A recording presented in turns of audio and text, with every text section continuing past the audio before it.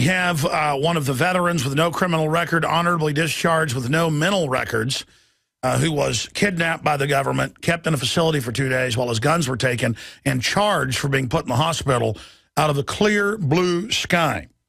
This is happening to veterans all over the United States, and they're getting these wellness check orders that, hey, you got to come in and get a mental checkup and, and prepare to turn your guns in if we find that you have a mental problem.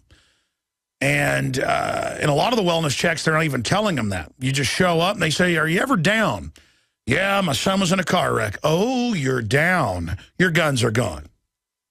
Yeah, I got a divorce. You know, my wife left me. I've been pretty down. Uh, your guns are gone. You have to know when you go to any pediatrician, any doctor, a lot of them aren't globalists, aren't authoritarians, uh, so they're not spying on you. I mean, a regular doctor knows if you come in and say, I want to kill myself, you know, to uh, call the police. Uh, you don't need to have Homeland Security and the VA there putting their operatives in everywhere to get your guns. So serious veterans alert with a victim of this, uh, David Schmecker, coming up in the second hour for 30 minutes. And then I, I've got something that's a little bit fun, but it's also painful. And I don't normally cover goofy things unless it uh, educates people. And I heard last week, hey, Alex, cover the Reptoid Secret Service agent.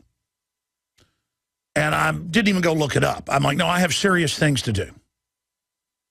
I was just talking to a senior Secret Service person the other day. oh, it was amazing. Anyway, side issue. Um, and so people kept sending me the video, so I happened to watch it yesterday afternoon. We're going to be playing it coming up.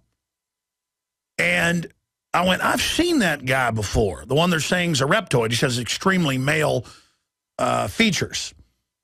I go, I've seen that guy before. That's a Secret Service agent that's spoken out.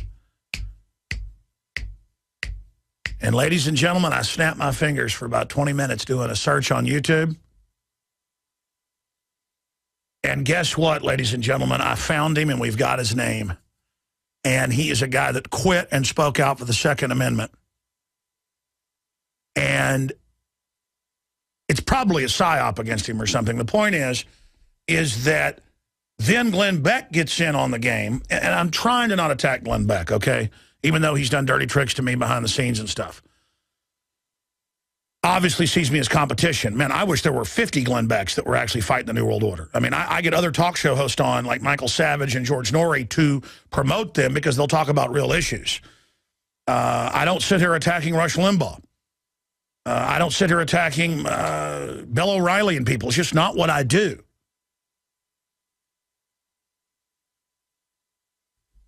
But every time, there's my mouse, every time I watch something he's doing, I mean, I could see the scripting there. You know, Alex Jones, you piece of garbage. I don't know what your deal is. I really don't know, and I don't care. You don't know what my deal is, you jackass? When you have been trying to hold me down for at least six years? I mean, I've talked to your confidants, famous people. Every time you get around some famous person, you start running me down and saying people shouldn't come on my show. And you blocked me from going on Fox as a guest one time when I was there for that. You jerk. But that's not the issue. He goes, oh, they believe in reptoids and the Bilderberg Group and the Illuminati and the New World Order. I mean, he's basically the ADL. That's why they've given him so much attention as the opposition.